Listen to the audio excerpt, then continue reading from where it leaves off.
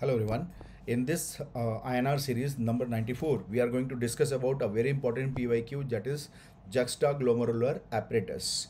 Right. So what is juxtaglomerular apparatus? It is consisting of three important cells. Remember three important cells are there. Who are these cells? Number one is called as JG cells or juxtaglomerular cells.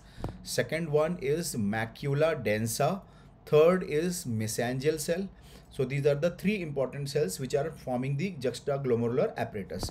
So what is the juxtaglomerular cells? Juxtaglomerular cells are modified smooth muscles in the afferent arteriole.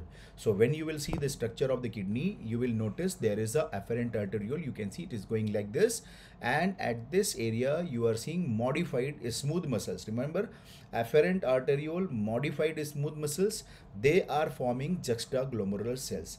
Their basic function is to give vasoconstriction and to reduce the blood flow, right?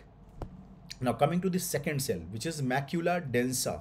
What is macula densa? They will be sensing the sodium level, sodium chloride sensors, right? And what is their location? Their location is at distal convoluted tubule this was a PYQ, right? Macula densa is located at distal convoluted tubule. So now you can see this is the macula densa where it is located into the distal convoluted tubule. So this, these are the cells which are called as macula densa and their basic function is to sense the sodium chloride which is coming via glomerular filtration, right? Third one is the mesangial cell, right? So mesangial cells are modified macrophages of the kidney which will be present in the mesangial matrix. So now you can see these are the mesangial cells, right? So these are the three important cells which will form the juxtaglomerular apparatus. What are these things? Juxtaglomerular cells, macula densa and mesangial cells, right? So juxtaglomerular cells, what they will do? They will secrete the renin right? When they will secrete the renin whenever there is a decrease in the renal blood pressure. So whenever renal blood pressure is low they will release renin and it will be also released by increased sympathetic tone by beta 1 receptor. So these are the two things which are controlling the secretion of renin from the jg cells right? Number one decrease in the renal blood pressure and number two there will be increase in sympathetic tone by beta 1 receptor.